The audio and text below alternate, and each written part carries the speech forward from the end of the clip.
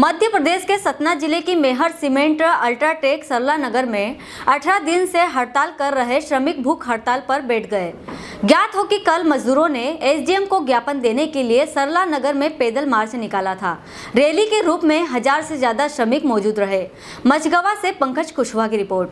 की तानाशाही नहीं चलेगी नहीं चलेगी अल्ट्राटेक की तानाशाही नहीं चलेगी नहीं चलेगी अल्ट्राटेक की तानाशाही नहीं चलेगी नहीं चलेगी हम लोगों को मैहर सीमेंट के ठेकेदारों ने पहले उसकाया, इसके बाद उन लोगों ने, हम लोगों को कहा कि आप लोगों को अगर पीएफ कोड को रोकना है तो सब लोग इकट्ठा होकर बैठ जाओ।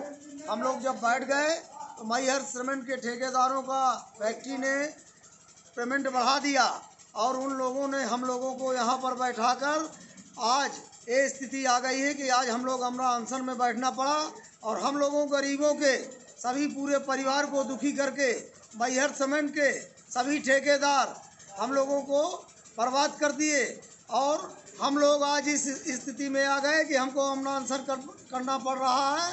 और अगर ऐसी हमारी मांगे मानी नहीं गई और उन ठेकेदारों को बाहर नहीं किया गया तब भी हमें धरना प्रदर्शन रखेंगे और हमारा जारी रहेगा।